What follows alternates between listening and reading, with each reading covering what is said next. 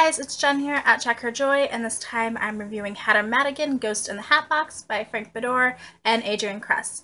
This is a uh, mid-grade J-fiction novel. It is the prequel to the Looking Glass Wars novels and the Hatter M graphic novels, which are both by Frank Beddor.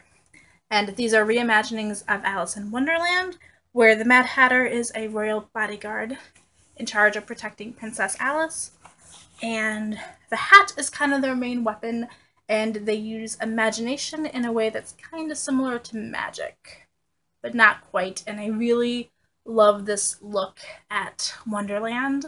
It's a lot more i think grown up but it's still very enjoyable for kids i think which is good because it's a kids book. Um, but it's also really good. So even if you're an adult or teen, you should check it out. So this book is Hatter going to school at the Millinery Academy to learn how to be a bodyguard. Um, at first, he wants to be a spy. This is where the people of Wonderland learn how to be part of the military. Um, and they get to make their own hats, which use caterpillar thread, which is imbued with imagination. And like I said, it kind of works like magic. So it's really interesting. And they do make their own hats and clothes and weapons, which is cool. But they also have to learn how to use them and learn the discipline and military stuff, strategy and stuff. So I love this whole like school aspect of it and like getting to see how they learn it and getting to see more of Wonderland. When the book starts off, Hatter and his brother Dalton have grown up at the academy. Their parents disappeared when they were young, and so the tutors at the school kind of took them in. And they've been being raised by like the cooks and the servants. So when Hatter finally gets to start the school, he's so excited and he kind of has some fame going for him at the school because his brother Dalton has just graduated and is already the Queen's royal bodyguard. Like, big deal stuff. That combined with everybody having heard stories about his parents means that like everybody knows Hatter at the school. And so right away he kind of stands out and he makes friends with Rhodes and this very elite society at the school called the Wellingtons.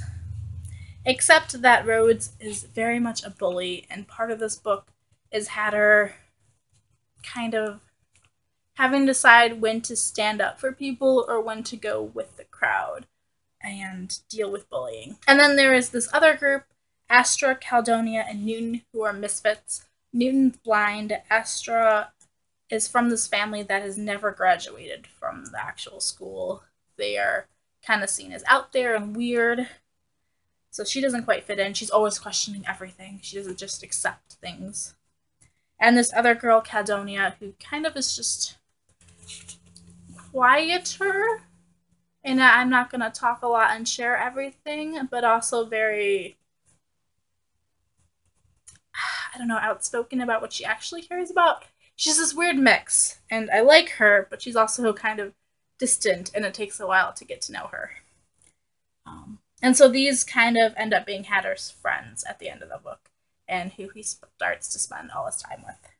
And it's cool to see that transition in Hatter from hanging out with popular kids that maybe aren't behaving the way they should versus hanging out with the misfits and having a lot of the school not like him. Um, but like people who accept him for who he is. And a lot of it's Hatter figuring out who he is also and trying. A lot of his school year, he is trying to live up to the expectations that are put on him by the teachers and trying to live up to this legacy that his parents and his brother have left him. Um, but also trying to figure out who he is, and that's like a really hard road for him to walk. And then the big mystery of the school is of the Hatbox, which is an acronym for Holographic and Transmutative Base of Extreme Combat. Extreme Combat spelled with an X. Um, this is where they learn their training. It's a brand new facility at the school, and it projects holographic sparring partners for them to train against. Um, the sparring partners are supposed to be slightly better than they are so that they are improving themselves because you're only as good as the person you're fighting or training with. Um, And it's really cool because it combines imagination and science, which is something that doesn't get done in Wonderland. Um, but there are a few hiccups in this hat box as Hatter and his friends start to realize, and this becomes the whole mystery plot thing of this book is what's going on with the hat box and why and how to stop it. This book has tons and tons of excitement and action. There's lots of combat and fighting with like each other and I love that.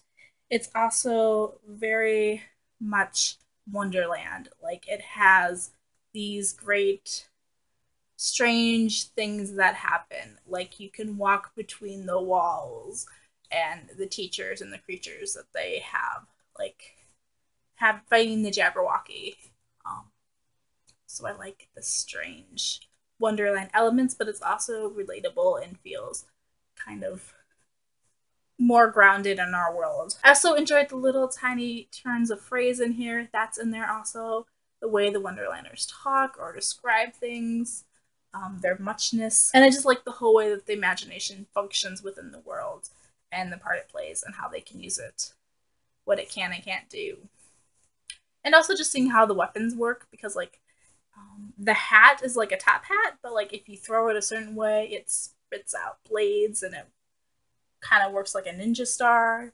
Or the, when they get older, they have this pack that holds their blades and everything. And so you can communicate with the weapons through like telepathic uh, interlies, I guess. Like you think it and the hat will do it. It's so cool um, to see that and to see them training to learn how to do that, to see them how like making things and learning like the history of Wonderland.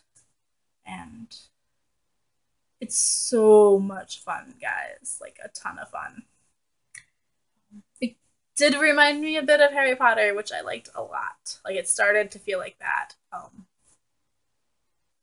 it was a lot of fun. That's what I'm saying. Like I really I really enjoyed the series. I want to know what's going on.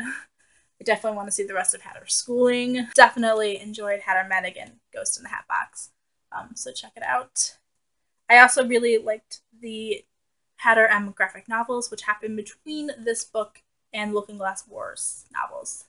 Haven't read those yet. Those are coming, but like, I love this take on Wonderland. It's so awesome. So definitely check it out. Peace out. I love you guys and keep reading.